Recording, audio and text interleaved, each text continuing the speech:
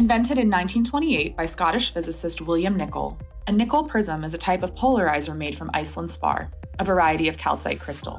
The crystal is cut at an angle of 68 degrees, cut again diagonally, and rejoined with a transparent resin. As light enters the birefringent crystal, the parallel and perpendicular polarized components are refracted at different angles. The ordinary ray is then eliminated by total internal reflection. Today, however, Nicol prisms have been largely replaced with Glan-Thompson prisms. A Glan-Thompson prism consists of two right-angled calcite prisms cemented together in much the same way as the Nicol prism. While both polarizers use total internal reflection to achieve polarized light, the flat input face of the Glan-Thompson polarizer minimizes loss due to Fresnel reflections, allowing the polarizer to maximize the amount of polarized light that can pass through, making it superior in most applications.